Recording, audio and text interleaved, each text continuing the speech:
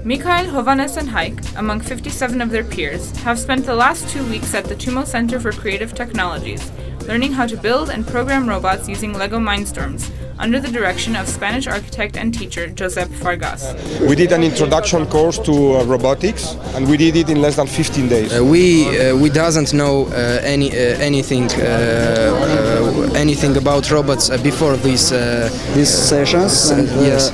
Now we know more. How long did it take? Yeah, we uh, take about uh, 10, day, 10 days. Two weeks. A robot uh, does different actions, seeing brown and black line. seeing brown line, it turns left or turns right as as a program. We want to write other more different and more interesting programs.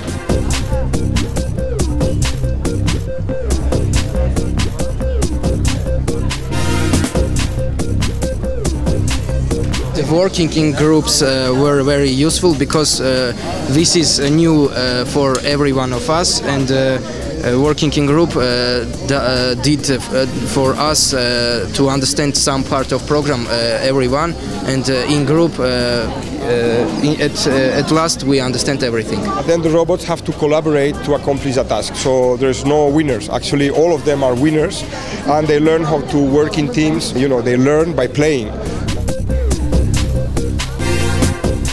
Another phase in the expanding technological opportunities for Armenian children provided since the TUMO Center opened last September. Based on the success of this two week session, TUMO and Fargas may be teaming together to open a new branch, Educational Robotics.